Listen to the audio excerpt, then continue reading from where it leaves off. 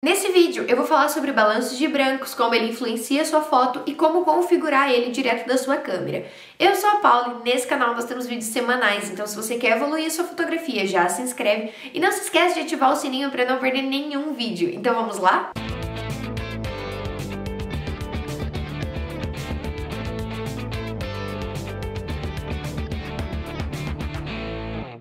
O balanço de branco é uma configuração que a gente faz na nossa câmera para que ela possa entender as cores considerando as condições de luz, ou seja, mesmo com a influência de luz quente ou fria, buscar uma fidelidade de cores. Aqui a ideia é deixar o branco branco, porém eu não gosto muito dessa ideia da fidelidade de fato das cores, porque aí a gente já entra na questão de identidade.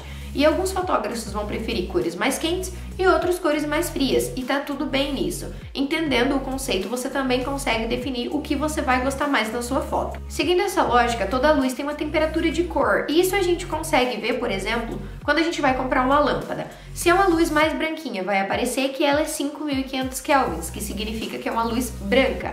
Agora, se é uma luz mais amarelada, vai ser um número inferior a isso, por exemplo, 3000 kelvins.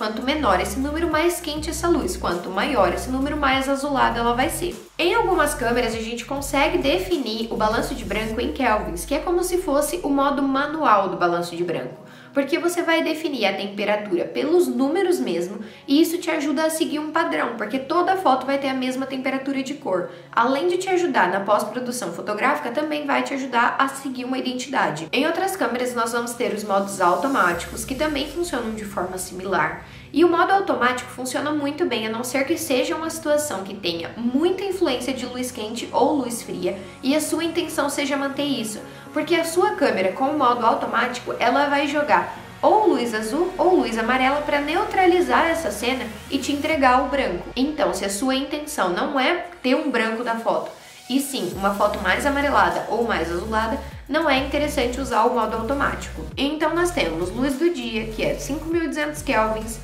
sombra 7000 kelvins, nublado 6000 kelvins, tungstênio 3200 kelvins e luz fluorescente branca, que é 4000 kelvin. E quando nós podemos usar esses modos pré-definidos? Por exemplo, se você está fotografando numa situação que tem muita luz amarela e a sua intenção não é manter isso, você quer neutralizar, você pode utilizar o modo tungstênio ou fluorescente que vai ter uma temperatura mais alta, ou seja, mais fria, e com isso a câmera vai injetar azul na sua imagem, neutralizando então esse amarelo para te entregar um resultado mais branco. Agora uma segunda situação, você está fotografando no fim de tarde, já tem bastante luz fria porque o sol já foi, a pele da pessoa já está começando a ficar azulada e você quer neutralizar isso, você quer uma pele mais quente. Então você pode usar ou nublado ou luz do dia que vão ter temperaturas mais quentes em Kelvin para então trazer esse amarelinho para sua foto. Uma dica extra é que se você gosta de uma foto mais quente e você está fotografando mesmo com a influência do sol e ainda assim não tá do jeito que você gostaria,